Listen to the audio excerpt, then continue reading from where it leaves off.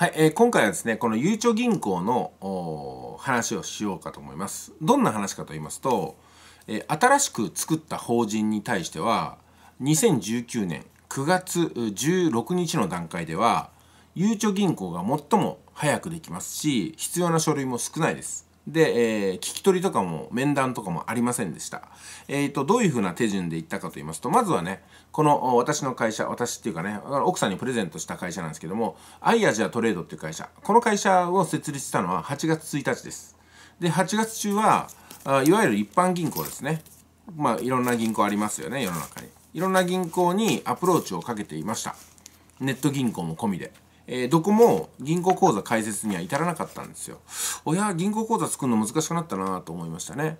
えー、その中でですね、この書類を出してくれって言われてすごく困ったのが、あ会社の取引実績、そして会社のホームページですよね。あのすいませんって銀行の担当の方に言われあの申し上げたんですけどもすいませんけどもこれホームページって何で必要なんですって聞いたら会社の信用度を測るためって言われましたね、えー、でも待ってくださいよホームページってでいくらでも架空で作ることができますよね。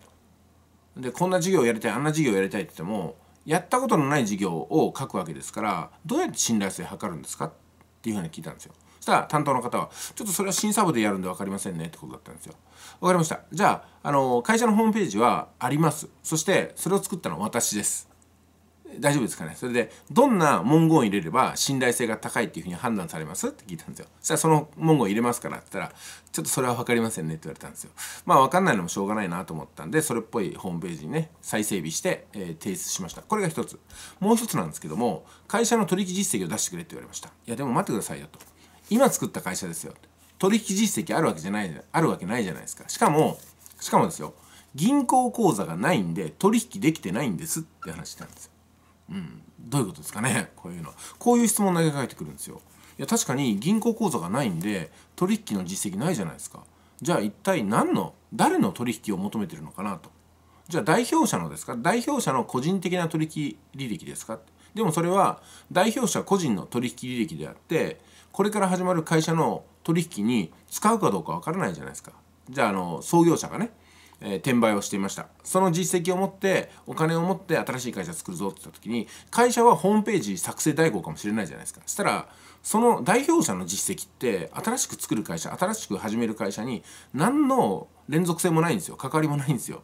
じゃあこれで何をねあの担保していくのかなってすごく不思議だったですね。うん、あとはなんかねあの登記簿謄本と印鑑証明が必要なのはあそれとあの代表者のね、え免許証のコピーが必要なのは分かるんですけども定款を求めてこなかったですよね。うん、だからそういった意味で、まあ、いろんな判断基準があるんでそれを一方的に批判するわけではないですけどもあなんかねわけわからなくなっちゃったなというところでございます。そこに比べてこのゆうちょ銀行なんですけどもゆうちょ銀行が求めていたのは、まあ、代表者の免許のコピーですよねそれからあと定款ね、定款会社作った時に定款ができますので定款をコピーして出すっていうことですね。それから印鑑証明と登記簿謄本。あとはですね営業所の営業所に使う証明書です。これはどういうことかっていうとやっぱりどんな会社でも事務所とか持つと思うんですよ。店舗とか持つと思うんですよ。何でもいいんですよ。自宅でもいいです。自宅を事務所でもいいんですよ。そうするとその自宅をどういうふうな誰から借りてるかってことが必要なんですよね。もちろん自己所有でもいいと思いますけども今回私はえー、賃貸ということにしましたね。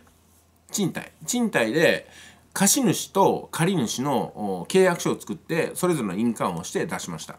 それだけなんですよ。だからいくらでも作れますよね。自宅でやってる方は例えばお父さんお母さんに借りてるという体にしてで印鑑をしてもらえばいいと思うんですよ。簡単ですよ。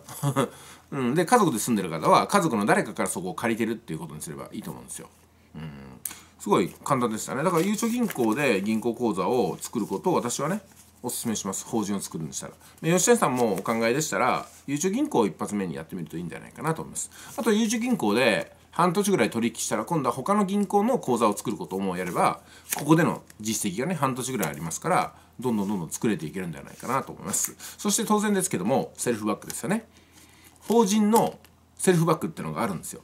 クレ,、えー、クレジットカードで。それをバンバンバンバン作っていって これはね5万とか10万とか稼げる話になりますから。だから法人作るとね本当にね儲かります。